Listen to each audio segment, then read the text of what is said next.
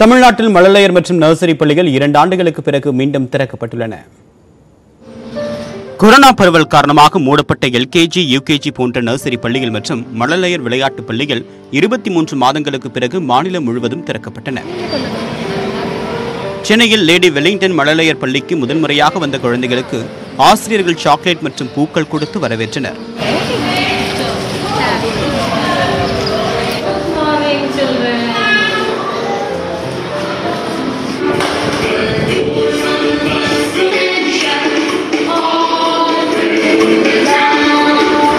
மாணவர்களுக்கு முகக்கவசம் அணிவிக்கப்பட்டு கிருமி நாசினியை பயன்படுத்திய பிறகு வகுப்பறைக்குள் அனுமதிக்கப்பட்டனர். ரெண்டு வருஷமா வீட்டில் விளையாடிட்டு தான் இருந்தாங்க. சுட்டி டிவி அது மாதிரி பார்த்துட்டு இருந்தாங்க. இன்னைக்கு ஸ்கூல் இன்னொன்று ரொம்ப ஹாப்பியாக தான் வந்தாங்க. வந்து நான் வீட்லயே வந்தால் பசங்களோட எஜுகேஷன் அப்புறம் வேஸ்ட்டாக போயிடும். நம்ம அது வெளியே அமிச்சா தான் நம்மளுக்கு என்னன்னு நல்லா தெரியும். பசங்க என்ன டேலண்டாக இருக்காங்க அவங்க டேலண்ட் இப்போ தான் வெளியே கொண்டு வர முடியும். அதனால தான் சரி ஸ்கூல் ஓப்பன் ஆனோன்னு இன்னைக்கே இட்டுன்னு வந்தோம். நெல்லை பாளையங்கோட்டையில் பள்ளிக்கு வந்த குழந்தைகளை வரவேற்கும் விதமாக பல்வேறு நிகழ்ச்சிகள் நடத்தப்பட்டன. பிள்ளைகள் ஆன்லைன் வகுப்புகளில் படிப்பதை விட பள்ளிக்கு சென்று படிப்பதே மகிழ்ச்சி அளிப்பதாக பெற்றோர்கள் தெரிவித்தனர். டூ தௌசண்ட் டுவெண்ட்டி ஒனில் அட்மிஷன் போட்டோம். இப்போ தான் ஸ்கூல் ஸ்டார்ட் ஆயிருக்கு. பிள்ளைங்க வீட்டிலேருந்து படிக்கிறத விட இங்கே ஸ்கூலில் வந்து டீச்சர்ஸோட மிங்கிள் ஆகி பிள்ளைங்களோட மிங்கிள் ஆகி படிக்கிறதுல எங்களுக்கு ரொம்ப ஹாப்பி ராஜபாளையத்தில் இனியாஸ்ரீ கார்த்திகாஸ்ரீ ஆகிய இரு குழந்தைகளை அவருடைய பெற்றோர்கள் குதிரையில் ஏற்றி மழலையர் பள்ளிக்கு அனுப்பி வைத்தனர். மேளதாளம் முழங்க கூடவே மேலும் மூன்று குதிரைகள் அணிவகுத்து சென்றன.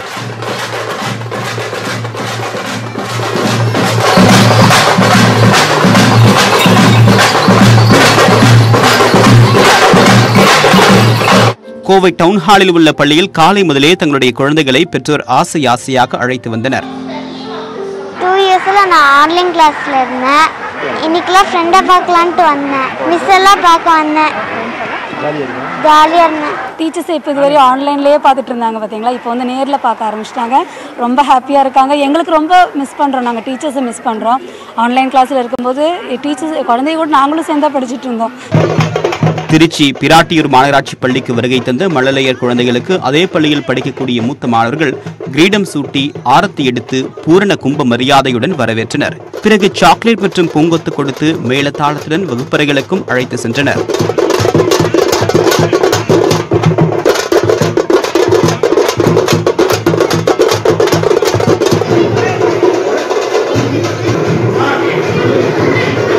இதேபோன்று புதுக்கோட்டை மதுரை உட்பட தமிழகம் முழுவதும் மழலையர் பள்ளிகளில் குழந்தைகளுக்கு உற்சாக வரவேற்பு அளிக்கப்பட்டது.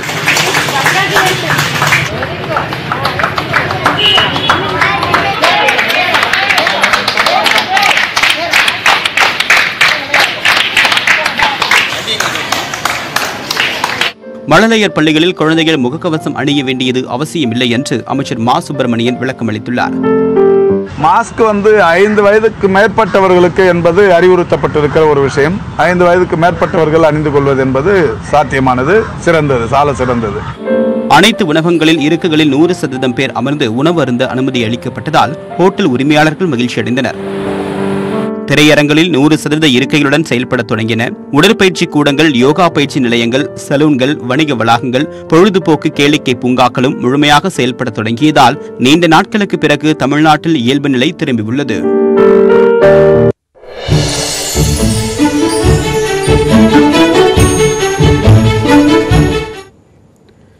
சென்னை புத்தக கண்காட்சியை தொடங்கி வைத்த முதலமைச்சர் மு க ஸ்டாலின் இதேபோன்று பிற மாவட்டங்களிலும் நடத்த ஏற்பாடு செய்யப்படும் என்றும் தெரிவித்தார். தான் எழுதிய உங்களில் ஒருவ நூலை இந்த மாத இறுதியில் வெளியிட உள்ளதாகவும் முதலமைச்சர் கூறியுள்ளார். சென்னை நந்தனம் ஒய்எம்சிஏ மைதானத்தில் நாற்பத்தி ஐந்தாவது புத்தக கண்காட்சி தொடங்கியுள்ளது. இந்த கண்காட்சியை முதலமைச்சர் மு க ஸ்டாலின் ரிப்பன் வெட்டி தொடங்கி வைத்தார். அங்கு தொல்லியல் துறை சார்பில் அமைக்கப்பட்டுள்ள புருணை ஆற்றங்கரை நாகரீகம் என்ற அகழாய்வு கண்காட்சியையும் முதலமைச்சர் தொடங்கி வைத்தார்.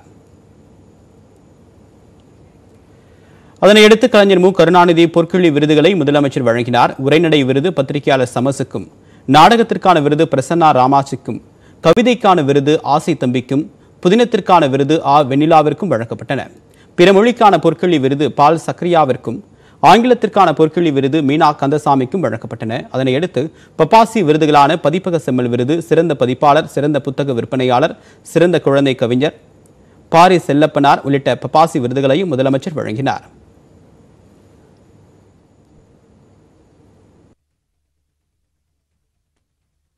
இந்த விருதை ஒரு தமிழாசிரியர் என்ற முறையில் கலைஞருடைய மகனார் நம்முடைய முதலமைச்சருடைய கையிலே பெறுவது எனக்கு மிகுந்த பெரிய மகிழ்ச்சி அளிக்கிறது. நான் யூபிஎஸ்சி மாணவர்களுக்காகவும் தமிழ் பிஏ எம்ஏ மாணவர்களுக்காகவும் அது மட்டுமில்ல டிஎன்பிசி படிக்கக்கூடிய மாணவர்களுக்காகவும் பல நூல்களை எழுதி வெளியிட்டிருக்கிறேன். அவற்றின் அடிப்படையிலே என்னை இந்த விருதுக்கு தேர்ந்தெடுத்திருக்கிறார்கள் என்று நான் நினைக்கின்றேன். நிறைய எழுத்தாளர்கள் இந்த துறையில கால் பதிக்க ஆரம்பித்திருக்கிறார்கள் பெண்கள். அவர்களினுடைய சார்பில் இந்த விருது எனக்கு கிடைத்திருப்பதாக நினைக்கின்றேன். புத்தக கண்காட்சி என்பது அறிவு திருக்கோயிலினுடைய படிகளில் கால் வைத்து வருவதற்கு ஒப்பான ஒரு நிகழ்வு. அதுக்கு இவ்வளவு பேர் வந்திருப்பதும் இவ்வளவு பெரிய நிகழ்வாக இது நடப்பதும் எனக்கு ரொம்ப மகிழ்ச்சியா இருக்கு. தமிழ்நாடு பாடநூல் கழகத்தின் சார்பில் திசைதோறும் திராவிடம் திட்டத்தின் கீழ் ஆறு புத்தகங்கள் மொழிபெயர்ப்பு பிரிவில் ஒரு புத்தகம் என்று ஏழு புத்தகங்களை முதலமைச்சர் வெளியிட பள்ளிக்கல்வித்துறை அமைச்சர் அன்பில் மகேஷ் பொய்யாமொழி பெற்றுக் கொண்டார். விழாவில் உரையாற்றிய முதலமைச்சர் மு ஸ்டாலின் தமிழகத்தின் மற்ற மாவட்டங்களிலும் பப்பாசி புத்தக காட்சியை நடத்த அந்தந்த மாவட்ட நிர்வாகம் நடவடிக்கைகள் எடுக்கும் என்றார். பொது நிகழ்ச்சிகளில் தனக்கு அன்பளிப்பாக வழங்கப்பட்ட ஒன்றரை லட்சம் புத்தகங்கள் இலங்கை யாழ்ப்பாணம் நூலகம் மற்றும் தமிழகத்தில் உள்ள சிறு நூலகங்களுக்கு அனுப்பப்பட்டிருப்பதாகவும் முதலமைச்சர் கூறியுள்ளார். உங்களின் ஒருவன் என்னும் புத்தகத்தை தான் எழுதியிருப்பதாகவும் அதை இந்த மாத இறுதியில் வெளியிட இருப்பதாகவும் முதலமைச்சர் கூறியுள்ளார். நான் எழுதியிருக்கக்கூடிய உங்களில் ஒருவன் அந்த நூலினுடைய முதல் பாகத்தை இந்த மாதம் இறுதியில வெளியிடுவதற்கான ஏற்பாடுகள் செய்திருக்கிறேன். என்னுடைய இருபத்தி மூணு கால வாழ்க்கை பயணத்துடைய சுவடுகளை அதில் நான் பதிவு செஞ்சிருக்கிறேன் இளமை காலம் பள்ளி படிப்பு கல்லூரி காலம் அரசியல் ஆர்வம் முதலில் நடத்திய கூட்டம் அதில் முதலில் பேசிய என்னுடைய பேச்சு திரையுலகம் திருமணம் மிசாகாரத்தினுடைய தொடக்கம் வரையில் அந்த பதிவுகள் இடம்பெற்றிருக்கிறது. இருசக்கர வாகனங்களில் பயணிக்கக்கூடிய நான்கு வயதிற்குட்பட்ட குழந்தைகளுக்கும் இனி ஹெல்மெட் கட்டாயமாக்கப்பட்டுள்ளது. மத்திய சாலை மற்றும் நெடுஞ்சாலைத்துறை அமைச்சகம் வாகன போக்குவரத்திற்கான புதிய விதிகளை வெளியிட்டுள்ளது. அதன்படி இருசக்கர வாகனங்களில் பயணிக்கக்கூடிய நான்கு வயதுக்கு கீழ் உள்ள குழந்தைகளுக்கும் ஹெல்மெட் அணிய வேண்டும் என்று உத்தரவிடப்பட்டுள்ளது. அதேபோல் நான்கு வயதிற்கு கீழ் உள்ள குழந்தைகளை பைக்கில் அழைத்து செல்லும் போது நாற்பது கிலோமீட்டருக்கு மேல் வேகமாக செல்லக்கூடாது என்றும் அறிவுறுத்தப்பட்டுள்ளது. காரில் சீட் பெல்ட் அணிவது போன்று பைக்கில் குழந்தைகளுக்கு ஹார்னஸ் பெல்ட் அணிய வேண்டும் என்றும் உத்தரவிடப்பட்டுள்ளது. இந்த பெல்ட்டுகள் லகுவானதாகவும் முப்பது கிலோ வரை எடையை தாங்குவதாகவும் இருக்க வேண்டும். இந்த விதிகளை மீறுபவர்களுக்கு ஆயிரம் ரூபாய் அபராதம் விதிக்கப்படுவதோடு மூன்று மாதம் ஓட்டுநர் உரிமம் ரத்து செய்யப்படும் என்றும் எச்சரிக்கப்பட்டுள்ளது. இந்த புதிய விதிகள் இரண்டாயிரத்தி இருபத்தி மூன்றாம் ஆண்டு பிப்ரவரி பதினைந்தாம் தேதி முதல் நடைமுறைக்கு வர உள்ளது.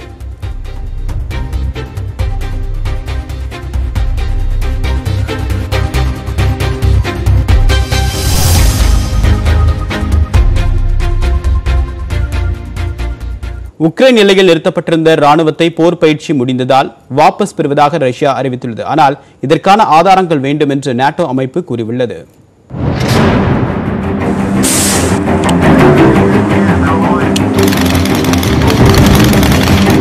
ரஷ்யா மற்றும் உக்ரைன் இடையே நீண்ட காலமாகவே பிரச்சனை நிலவி வரும் நிலையில் உக்ரைனின் கிழக்கு பகுதியில் ரஷ்யா படைகளை குவித்தது.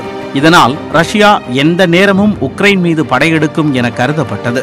உக்ரைன் மீது ரஷ்யா தாக்குதல் அதிகம் உள்ளதாக எச்சரித்த அமெரிக்கா உள்ளிட்ட நேட்டோ நாடுகள் உக்ரைனுக்கும் கிழக்கு ஐரோப்பாவிற்கும் அதிநவீன பாதுகாப்பு ஆயுதங்களையும் போர் கப்பல்களையும் போர் விமானங்களையும் அனுப்பின. உக்ரைன் மீது தாக்குதல் நடத்தினால் ரஷ்யா கடுமையான விளைவுகளை சந்திக்கும் என பைடன் மீண்டும் எச்சரிக்கை விடுத்தார்.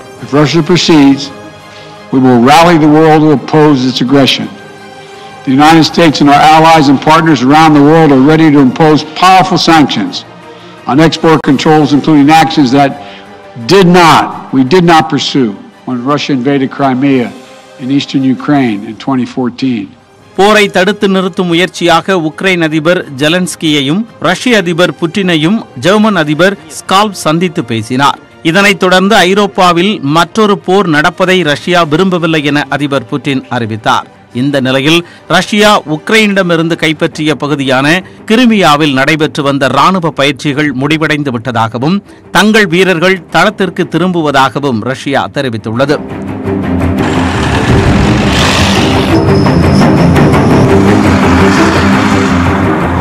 ரஷ்யாவின் நடவடிக்கை கடந்த ஒரு மாத காலமாக நீடித்து வந்த போர் பதற்றத்தை தணிக்கும் என எதிர்பார்க்கப்படுகிறது. எனினும் படைகள் வாபஸ் பெற்றதற்கான ஆதாரங்கள் வேண்டும் என நேட்டோ அமைப்பு கூறியுள்ளது.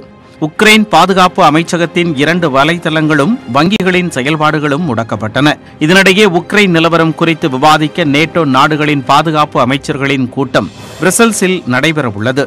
தேவைப்பட்டால் ரஷ்ய அதிபர் புட்டினுடன் ஆலோசிக்க தயாராக உள்ளதாக நேட்டோ அமைப்பின் பொதுச் செயலாளர் ஜென்ஸ் ஸ்டோல்டன்பர்க் கூறியுள்ளார்.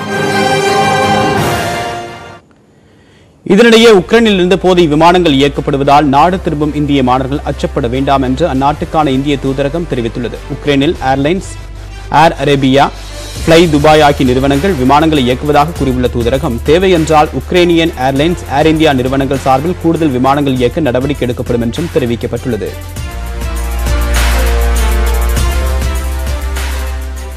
எட்டு திக்கும் என்ற பகுதியில் மேலும் பல்வேறு செய்திகளை பார்க்க இருக்கிறோம். குறிப்பாக